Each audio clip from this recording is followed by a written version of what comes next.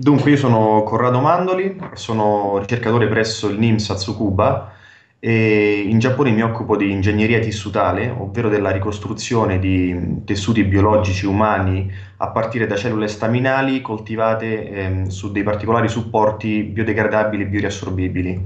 E nello specifico mi occupo dello sviluppo di questi materiali.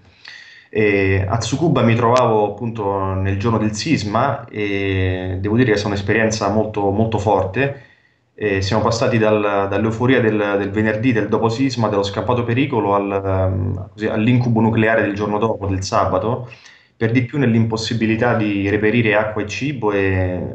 dal momento che anche do- già dopo il sisma eh, tutti i supermercati, pompe di benzina erano stati eh, così in qualche modo depredati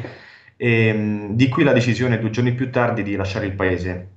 Decisione che è stata molto sofferta dal momento che mh, sapevamo che il peso eh, sia economico che morale di questa scelta sarebbe gravato sulle, sulle nostre spalle, dal momento che eh, nessun, nessun supporto ci è stato garantito comunque dalla- dall'ambasciata in questo. Ehm, al momento la mia situazione è critica perché eh, nel migliore dei casi, eh, cioè che l'allarme nucleare rientri completamente eh, in un regime di sicurezza, comunque il ripristino completo dei laboratori di ricerca, in particolare degli apparati biologici di cui mi occupo, eh, richiederà diversi mesi.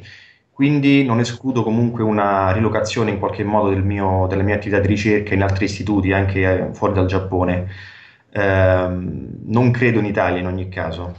E, e con questo mi collego al discorso della, della ricerca in Giappone, che è un tema sicuramente percepito in modo molto differente dall'Italia, perché a mio modo di vedere le cose, il Giappone, a differenza dell'Italia, eh, ha capito che lo sviluppo economico non può prescindere da uno sviluppo tecnologico,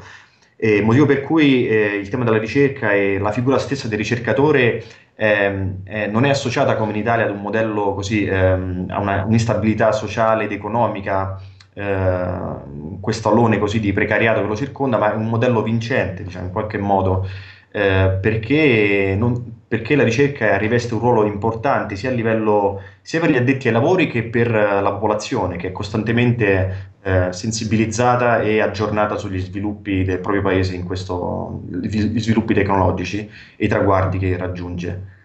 E quindi, mh, insomma, mio malgrado sono stato costretto a tornare in Italia e spero presto di riuscire a ripartire, se non in Giappone, verso altre mete. Grazie, grazie a tutti e tanti auguri, Rita. Arrivederci.